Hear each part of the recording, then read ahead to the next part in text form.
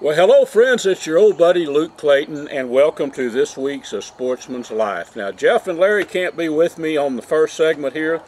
Guess what I'm about to do? I'm heading out for my first archery deer hunt for the fall here. Uh, my goal is to get some venison in the cooler, looking for a mature buck, and I don't care if it's a, a spike buck or one this big, one like one of these hanging up here. That would suffice quite well. I'm at, still at my little cabin here. But I'm going to walk you through our hunt. I'm going to do some cooking, and uh, it's a solo hunt. I'm going to spend about two or three days out by myself in the woods. I'm going to give you a little idea of what it's like. Uh, I may shoot a hog. Uh, I've been told that I could turn a elephant hunt into a hog hunt, and I usually I usually have a tendency to bring back some pork. So we'll see. We're after some venison, though. That's what we're really after. Let's load up in the truck. I'm still at the house here at my little cabin behind the house. Take my gearhead bow. I love this bow. We're going to take it out and see if we can get us some meat, folks. So stay with me. We'll, you'll join me back down here at the Buck and Bass Ranch.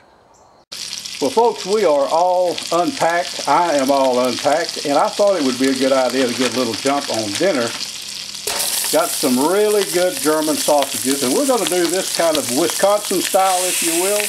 Jeff would be proud of me here. We're going to take these sausages, and by the way, this is some really, really good German sausage. Got a good lot of garlic flavor, and guess what?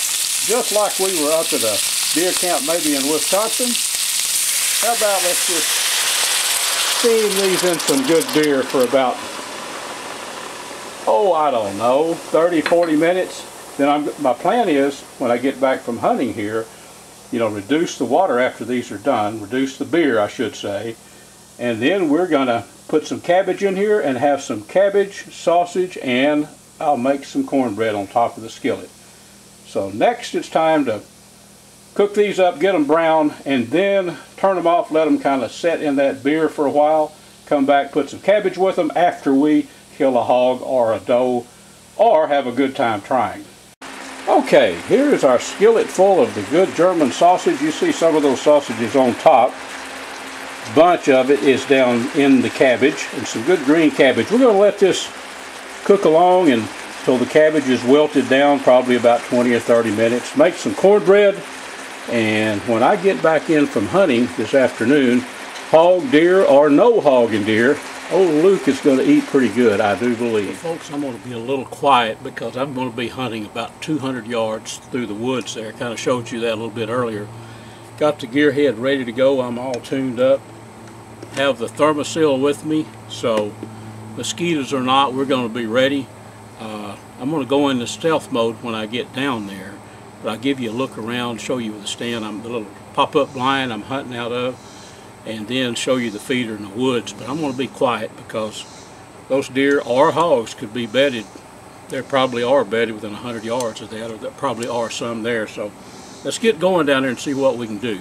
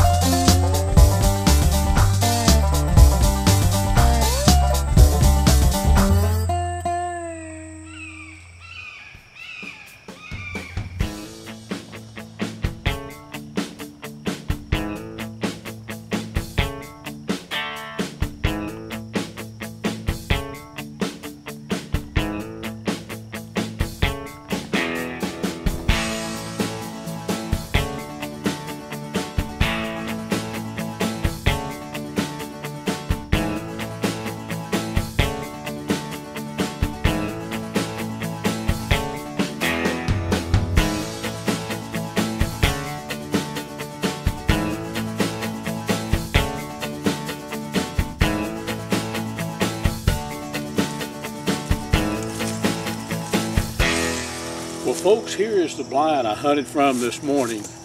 I'm going to give you a close look at this. This is a Jeff Rice design. One of the most awesome ground blinds I've ever hunted in. I'm going to give you a little quick tour here in a minute. You see those two bucks? One was probably a year and a half old, uh, smaller buck, and the other was a little bit bigger, but they weren't the type. The small one was actually legal. He was a spike. The other one was a fork horn. He was not legal, but that, that little year and a half old, he was a little bit too small. Let him grow a bit and we'll get him. But uh, I'll tell you what I'll do. I'm going to bring the camera around and show you this blind right here. This thing is awesome. Check this blind out, folks. Now note the, the entrance to it. This is a good design for you here, Jeff. Came up with this. I guess this has been in place a couple of years now. Take a look at this. Here's the entrance to it right here. Walk in it. We'll just do that.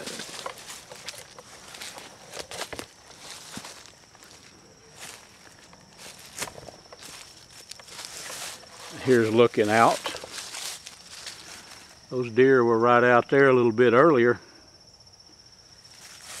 Pretty awesome design, I'll tell you. And it's plenty roomy. For a bow hunter, you can set back. This is where I was sitting right here in this chair in the very back. And gosh, you're five feet from that window. You've plenty of room to hide. So good, good spot to hunt from. and as you see, the deer were right on top of us, right there. Folks, we're going to head, I'm going to head back to the camp and we're going to chicken fry some some deer steak. Not from this year. Haven't haven't loosed an arrow yet. But this is some mule deer steaks that I had frozen from, from last year. I took a nice mule deer buck out on the Eason Ranch. And uh, we'll go have a little lunch. My hunt is actually over. I'm going to have to pick, go back into civilization, pick my wife up this afternoon. But I will show you how, how we're cooking the steaks. It's been a fun, fun time, and it's not over yet. I've got several hours to spend down here. So let's join me back up at camp we'll do a little chicken fried deer steak. So now we have most of the cooking oil drained, the grease if you will. Let's saute these onions and then we'll fold in a little bit of the uh, gravy. It'll make the gravy, get it real thick, and then add a little bit more water, put some rice in it, and then we'll put a lid on it. So here we go. Okay, our gravy is thickening up. You can tell tell what we're working with. I'm going to add a little bit more water to this right now. Not a lot, we just don't want to scorch anything. That's the key from here on. That gravy will thicken back up here in a bit. So let's put a lid on this rascal and let it cook for about 30 minutes real low. We'll bring it back up to temperature and uh, let it cook for about 30, 40 minutes. And that'll get that meat super tender. And then we will add some rice, a little more water, and let it cook about 20 more minutes. Then some of the best camp smothered deer steak that we ever ate.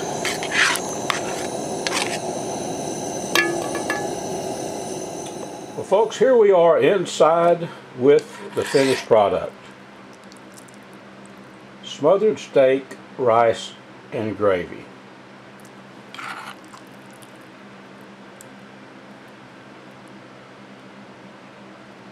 Pretty good camp fare, folks. It's time for me to sit down and enjoy one or two plates of this. This is just a little opening here on my property that uh, we don't mow it. We don't really go back in here a whole heck of a lot. And so I decided I would like to try to plant a tree back in here and of course you know being good stewards of the land the best thing to do is plant trees. If you take trees out certainly want to replace them. I have some bur oak which is in the white oak family that we're going to plant one right smack dab in the center here to see if we can't get a tree growing here. It's the perfect spot. It's very open. We do have one large uh, tree to my left here but it's far enough away that it won't impede with a with the big white oak when we put it in here or a bur oak. So let's get a tree planted. Okay, where I've got my uh, post hole digger here is about dead center in this little spot here. So this is where we're going to plant our uh, bur oak. And as you can see, we've got bur oak acorns. I want to give you an idea what these things look like. So this one here has had the cap taken off of it. And that's what you want to do to plant these. You don't want to plant them with the cap on. Take the cap off. And they're very easy. You just have to peel like so and they will come off relatively easy. There you go. This one I've had off for a few days. It's starting to brown already, but that's what they look like. Of course, you want to check your acorns out very, very carefully. Make sure there's no holes in them. The first thing you really want to do is uh, do the float test. So take your acorns, throw them in a bowl of water. If there are any that float, throw them away. The ones that sink and have no holes or any marrings on them, or scars on them are the ones you want to plant. So I've got a handful here. I've already done the water test on on these ones here and of course they all sank so they're ready to they're ready to be planted. So what you want to do we are in the fall so these acorns are just coming off the trees now. Uh, certain acorns and nuts you can actually go ahead and plant in the fall and they will get their little roots started for next spring they'll take off there are some acorns, however, and nuts that you have to go through the stratification process. In other words, you need to keep them dormant until spring. And how you do that basically is put them in dirt or put them in um, maybe wet paper towel and into a plastic bag, put them in the refrigerator so they go into a dormancy stage and then 120 days out or so, spring starts to start come rolling around and no more freezes, then you can pull them out and plant them white oaks or bur oaks you can plant now. They do not have to go through the stratification process. Of course, that all is going to depend upon where you live. If you're living in the north, where there's lots of ice and snow, you want to check out the uh, stratification process on, on planting so in your area. So let's go ahead and get this thing in the ground. Uh, I've got about a dozen more here, so we're going to go around the property and we're going to strategically place these uh, where we want them. So this is a great way to, to give back to your land, if you will. Putting, planting other trees in there, you know, will be there for the future. So, you know, 20 years from now, this thing will be dropping big acorns. And I tell you what, there's some trees here that I know will have deer stands in them. So deer love acorns. So get plant some of these. This is a great thing to do. So I'm going to go ahead and get this thing planted.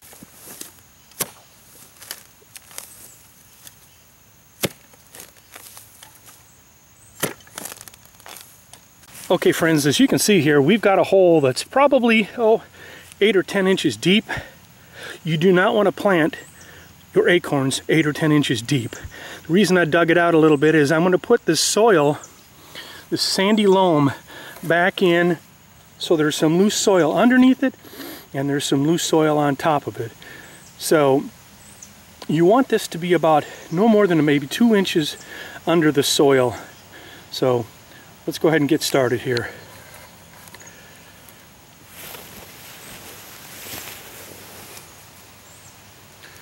Ahead and fill this back in with soil. And again, you can see how sandy that soil is. We don't want to pack it too much, but get her about right there. And then we're going to take our bur oak. You don't want to put it straight up and down or upside down. You want to lay it on its side. Just nestle it in there like that. And then I'm going to go ahead and cover it up. About two inches of soil.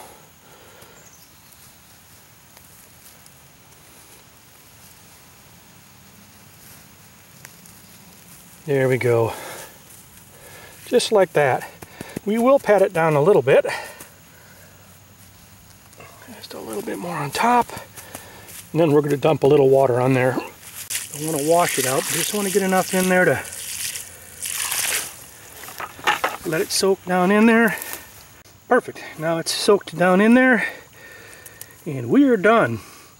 Now we've got 12 more to go or 10 more to go. You can see it bubbling there. It's water just soaking down in that soil and we'll be good to go. So, with any luck, we'll have a uh, nice bur oak tree here in a few years. So, that is how you do it. Well, we have all of our bur oaks planted, and uh, we had oh, five or six left over, and I've put five of those six obviously in this bucket, and uh, down the road when these things do sprout, I will find a place for them here on the property. So it's really good to get out there and, and plant, uh, you know, new plants, new trees. Uh, it's our future. So got one acorn left here. We're gonna decap this one and find a, a, place along the way back to camp to, to, stick it in the ground. So, well, folks, thank you so much for joining me on this segment here on A Sportsman's Life. Get out there and plant trees. It's good for the future. Now back to the show. Nate Watson, DSC. We're getting ready for a convention, right? Yes, sir. It is ramping up. We are 100 and I think today's six days away. So ah, counting the days at this moment. Oh right? yeah, it, we're we're in full convention swing. So convention is January 6th through 9th at the Kay Bailey Hutchison Convention Center in downtown Dallas. It is gonna be an awesome convention. It's gonna be great to have the hunting world all in Dallas for those four days as we get to celebrate our hunting heritage and conservation. So if you uh, by chance are in Dallas or coming to the show, uh, we look forward to seeing you there. Um, a couple pro tips from the membership coordinator while you're there. If you join or renew your membership at the convention, you actually get a free day pass into the show. And you can purchase a multi year membership to get uh, multiple day passes as well. So, another perk of also signing up or renewing your membership at the convention is you'll be entered to win the hunt giveaway we'll be running that's only available to those who join or renew at the convention. You also um, will have the chance to get our free member gift that we only give away at the convention. At the last convention, we gave away DSC tumblers, um, and then this year it's going to be a surprise too. So it's a great time to sign up or renew that membership, get free admission into the show, and check out one of the greatest hunting conventions in the world. Here on the Mescalero Apache Reservation on a hunt that we auctioned off thanks to the Mescalero Apaches, Russell Stacy and Derek Derringer and the hunt was bought by Mr. Darren Rhodes. Part of the hunt was is that of all things I got a chance to hunt and get to shoot a management bull and this is the bull that we called in this morning. I say we. James called this bull in like he had him on a string. Hopefully you'll watch the show actually how it unfolded on a sportsman's life. Hopefully some of these days in the future we can steal some of that footage and bring it to, uh, uh, well I'll say it's on a sportsman's life. It's going to be on Trijicon's World of Sports Afield initially and once we do that we'll try to steal some footage and show you how that bull came in on a string. Using a Remington 700 that I built back in 1998 at the Ilion factory and uh, took to uh, British Columbia and shot a really nice 6x6 bull elk up there in a Rocky Mountain goat. Now it's mounted with a Trijicon AccuPoint scope and shooting Hornady's Precision Hunter. It's a 220 grain ELDX and I'm not going to show you the devastation that thing did. I shot him through both shoulders and I like to shoot.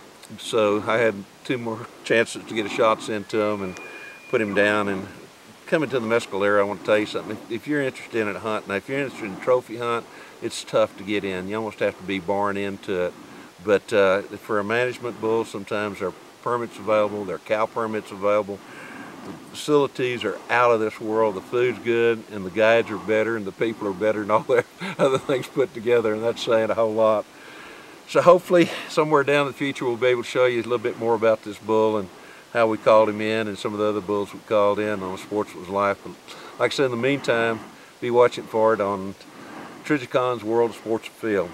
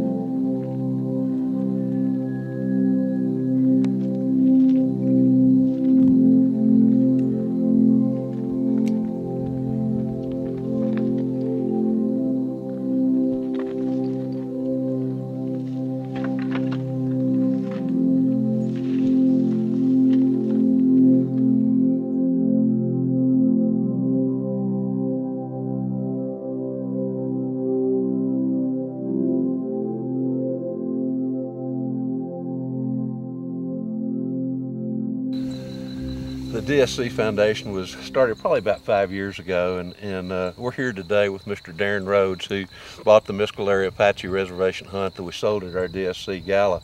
DSC Foundation, our job is to make money so that we can give money away to extremely vetted projects dealing with conservation, education, and hunter advocacy throughout the world. And this is absolutely fantastic. Thank you so much for the money that you spent because the money that you spent is going to go a long way in helping us reach those different goals. So, what do you think about all this? What do you think about DSC Foundation? I maybe should ask you first. And then, what do you think about the hunt here?